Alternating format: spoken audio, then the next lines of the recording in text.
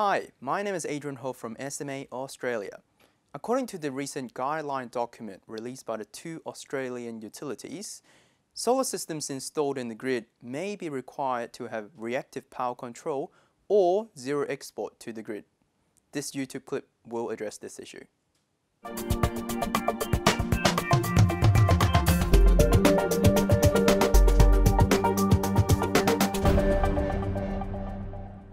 Depending on the utility requirement, active power limitation or zero export is not necessary, providing the inverter has reactive power control capability.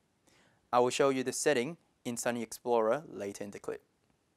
If your utility requires your system to be on zero export, you can use SMA inverters, each equipped with a power control module, together with a third-party programmable logic controller, known as PLC. Please note that each PLC signal can support up to 5 inverters. I will now show you how to install the power control module into the inverter. Turn off the inverter properly and remove the bottom lid. Flip up the display board. Now you can fit in the power control module. Make sure to tighten it up to the chassis.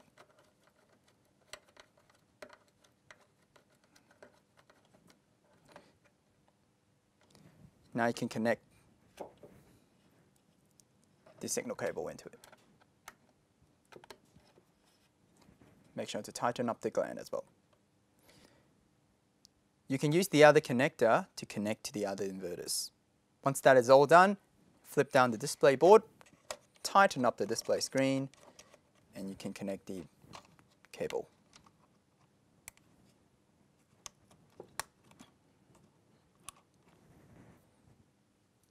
You can now close the inverter and I will show you the settings in Sunny Explorer.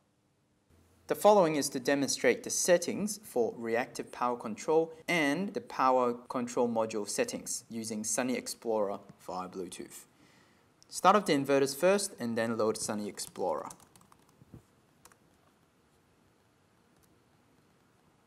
Detect as a new plant. Communication via Bluetooth. I have got two inverters set up for this demonstration, a Tripower and a Sunny Boy SB-TL-21, both on NetID B. Log in as an installer and put in the appropriate password for the system. On the left-hand side, you will be able to see the inverters that are connected in the same NetID. If you just want to change this particular inverter, you can highlight that one and then click on Settings. It will only change the settings for this inverter. However, if you have multiple inverters in the system, you can simplify the process by selecting the name in here, which is My PV Plant 46, and then click on Settings. This settings will then apply to all the inverters in that same net ID. I will now demonstrate the settings for reactive power control.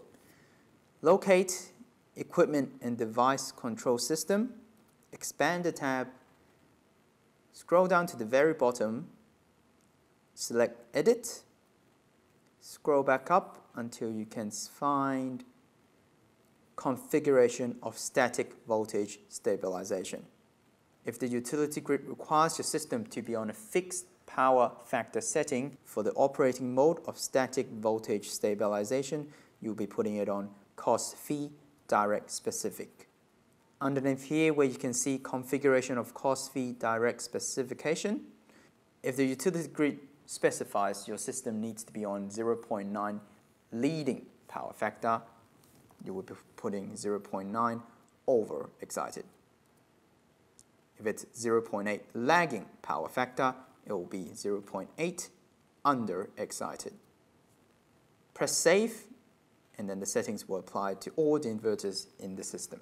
I will now show you the settings for the power control module select Equipment and Device Control System, scroll down to the very bottom of the screen, select Edit. In here for Power Control Module, it says Off. If you have it connected to the PLC, set it to Active Power Limitation or Remote Shutdown. Here we have Active Power Limitation. Press on Save. After that, select Device tab. Scroll to the very bottom to Edit In here, for active power limitations, you have the 16 different steps to ramp up or ramp down. You will need to put these values exactly the same as the PLC settings. When this is all done, you can then save it. When the PLC sends digital signals into the power control module, the inverters would then behave the same. Please remember that SMA currently provides an interface module to read the PLC signal. It is up to the installer or designer of the system to find a compatible third-party PLC for the system. My name is Adrian Ho from SMA Australia, and I will see you next time.